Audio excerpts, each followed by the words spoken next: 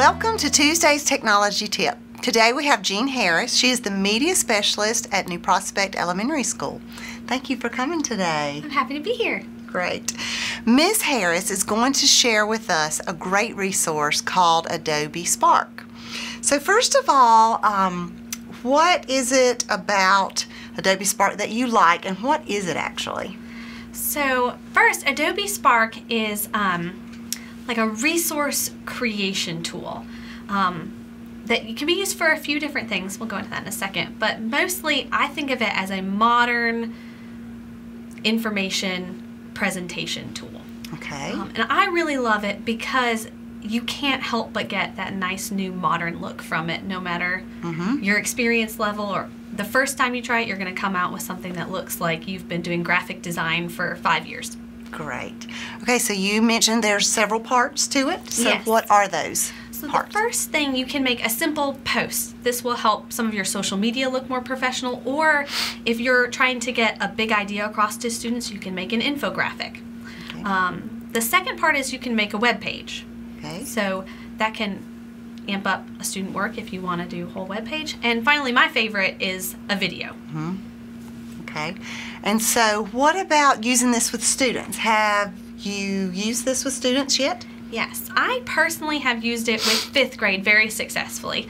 Um, I would feel ultimately comfortable using it with almost any of the grades that I teach. Um, and the best thing for students is it.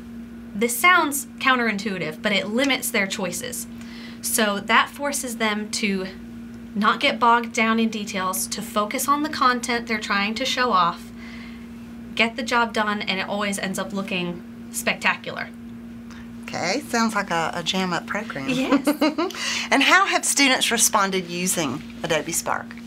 Has it been pretty easy It or? has been almost uncomfortably easy. I think as teachers, we always want to be all over everything and answering tons of questions, and you feel like you're really doing your job if people need your help. Mm-hmm. And I've found with Adobe Spark that I have to really stay on top of it walking around the room because I'm not getting as many hands raised because it's so easy to figure out that they just, you show them real quick how it works, what your expectations are for the project, and they just go. It's very impressive. Teachers always love to hear that word easy. Yes. So I'm glad that it is that easy. Do you think it's suitable for all grade levels? For individual projects, I would probably recommend third grade and above. Um, and then for second and first grade, maybe in groups or with a lot of instruction, but definitely all grades for compiling a classroom project of sorts with like a teacher led system. But individual projects, I think it could be done third grade and up. Okay.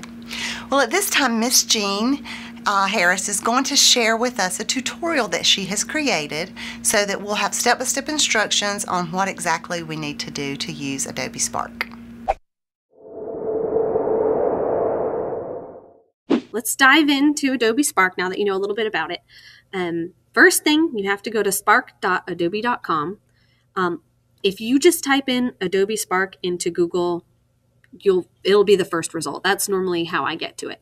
Once you're on the home page, regardless of if you're a teacher or a student, everybody clicks the normal login button up here on the top right. And then normally our first reaction would be to continue with Google. But for Adobe Spark, we want to focus here on the right where it says login with school account. So now that we kind of have an enterprise system set up with Adobe, um, everyone already has an account. They just have to access it. So log in with school account. And then here it says email and password, but most people will only have to put in their school email. Um, and it will kind of sense that your account. So if I just click my email, it sensed that my account was ready, and all I have to do is click Enterprise ID. Every now and then I do get a student who where it doesn't sense their account, but all they have to do is put in their normal password that they use every day and hit sign in and it will prompt them to this page. Once you're here, just click Enterprise ID and you'll be in. Now, normally, if it's your first time entering your account, it will um, bring you to a welcome page. Um, mine is opening straight up to my works, my project page. Um, so if you're here, you would click the plus sign. And this plus sign, this is your, your landing page where you would come if it was your first time signing in. And it has a bunch of templates to choose from, but normally I find, for me anyway, I almost always want to start from scratch. And those options are all the way down at the bottom. You can create a graphic, maybe you're making an infographic for kids, um, or a video. These are the ones that I have worked with the most. So I'm going to create a video. And this is the best part about working with students. The second you create a project, it prompts you to make a title um, because kids often forget to title their work, but this time they can't. Once your title is done, click next. I'm going to do um, a biography project example because that's what we've been using Adobe Spark with lately. Okay. And then again, you get a second chance to pick a template, but I'm going to start from scratch. And it will open you up to the workspace, which is very user friendly. Um, it looks a little bit like um, Google Slides in that it has all your slides down in a list on the side or on the bottom, your slide space, and it has a toolbar on the right that has layout, theme, resize, and music. Okay, so if I'm making a biography project, I tell my kids first thing is get your words down. So I'm going to start with my title, and I could add a video, text, photo icon. I'm going to obviously add text. The life of Abraham Lincoln. Okay. Now to jazz this up, I'm going to add a picture. If I click this plus sign in the top right corner, I can add a video or a photo. Now I can upload a photo from my computer or I can find free photos here within Adobe. They have a bunch of free and fair use choices. Um, they are great when you can find something that goes with your project. I don't always find what I need. Um, so today I'm going to upload a photo from my drive. Have it here in my downloads. Abraham Lincoln. And there we have it.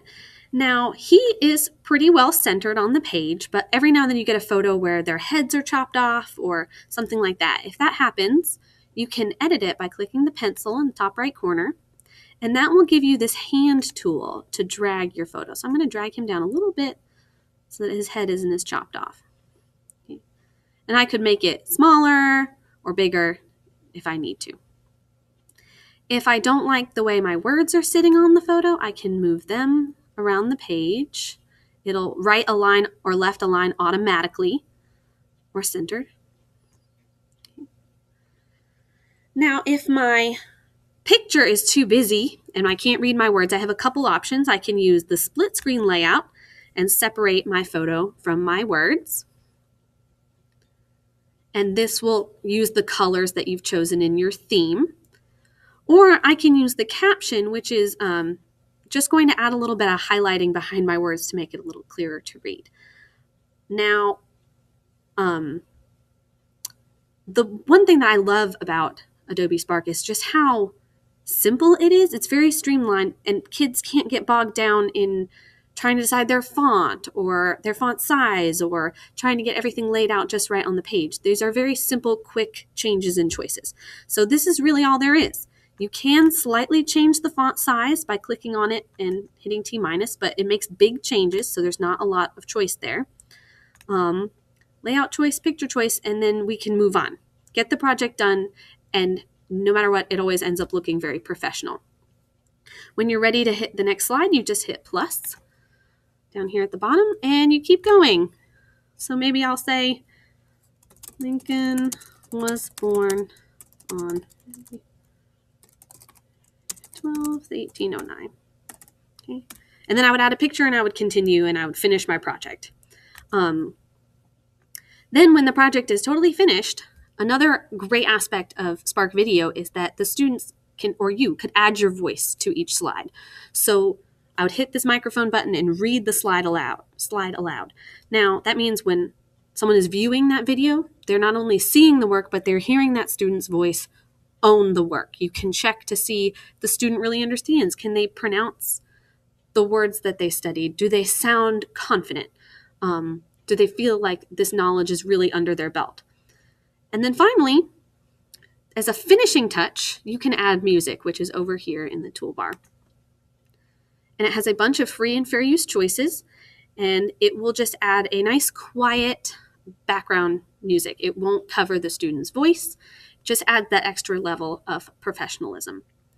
Um, and I think, especially for elementary school, it's going to be a level of professionalism that they could not achieve on their own without this program that streamlines their choices and makes things very um, modern and clear cut. Okay. The next great thing about Adobe Spark is that you can immediately share with your classroom. So when the project is totally finished, you or your students would hit share. Check the title, check your name. You do have to pick a category that's required. I normally pick education. And then you hit create link. This is creating a permanent link um, that will share in your classroom. Now, you can share this in a classroom regardless of whether you're a teacher or a student. So, if you're a student, you're going to share it to the assignment that you were given. Or if you're creating content for your students to learn from, you can immediately put it in your classroom without any extra steps. So hopefully I'll show you that in a minute. This part does take a little bit, but normally Adobe Spark has worked very well for me. It's not slow. It doesn't ruin my lesson with wait time.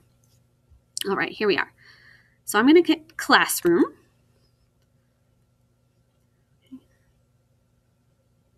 So if you were a student, you would choose one of your classes, and then it would ask you for the assignment you're turning it into. Okay. If you're a teacher sending content, it will ask you to choose your action. Are you going to create an assignment or make an announcement? I'm going to hit make an announcement. Now, Hmm. Hit go. And then I can say, oh, check out this great example. And then hit post, and it's done. It's there. You're ready to go.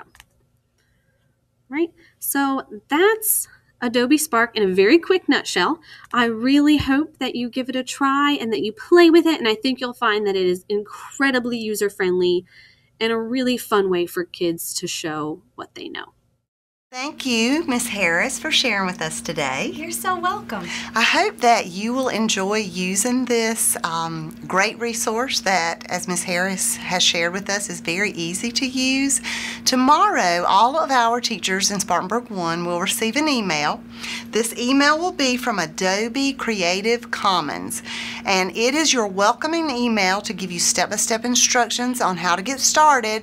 Of course, these are also provided for you in the video video that she created. So if you have any questions, please do not hesitate to send me an email. And as always, we hope that you have a great week.